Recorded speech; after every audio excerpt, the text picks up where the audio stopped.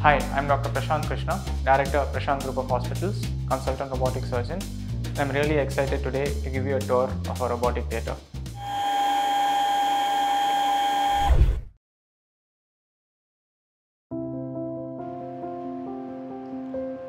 So welcome to our robotic theatre and you can meet our new friend the SSI Mantra. So here we see the patient bed. This is where the patient lies down during surgery and as you see the robotic arms are over it operating. So the robotic arms are controlled here and this is directly controlled by the surgeon. I want to reiterate that these arms do not move on their own and they are only controlled by the surgeon. As you can see in depth the precision and the movement of these arms, it is so fine that tissue handling is extremely precise. By the patient side, you see our assistant surgeon and our scrub nurse standing here. They are by the patient side at all times to ensure safety of the surgery. And behind these people, we see the vision cart.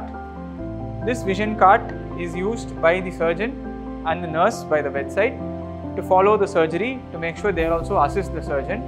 What you see here is in 3D. You might not be able to see on camera the exact of what's happening, but it helps to assess the depth of the surgery and it can only be seen from the bedside by using 3D glasses. As we move further, we see our anesthetist who is standing here by the anesthesia workstation. The anesthetist is always present at all times to ensure the patient is an adequate level of anesthesia and is safe during the surgery. So here about a foot away from all the robotic arms is our main surgeon operating on the robotic console. This console is what controls robotic arms. So these robotic arms are essentially an extension of the surgeon's arms and only what the surgeon wants to do will be done there. So the surgeon is using the handset to operate the robotic arms and only the exact movements he makes here are mirrored and it happens there. This is again 3D. It ensures perfect safety for the patient as well as depth. This makes sure that we do not do anything that we're not meant to do during the surgery. So robotic surgery is extremely safe, performed by the surgeon, assisted by the assistant surgeon and monitored by the anesthetist.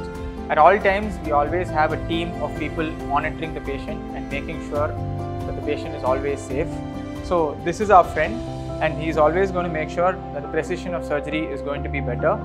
The advantages of robotic surgery is early recovery, less blood loss and fewer scars. Robotic surgery is the future and the future is here at Prashanth Institute of Robotic Surgery.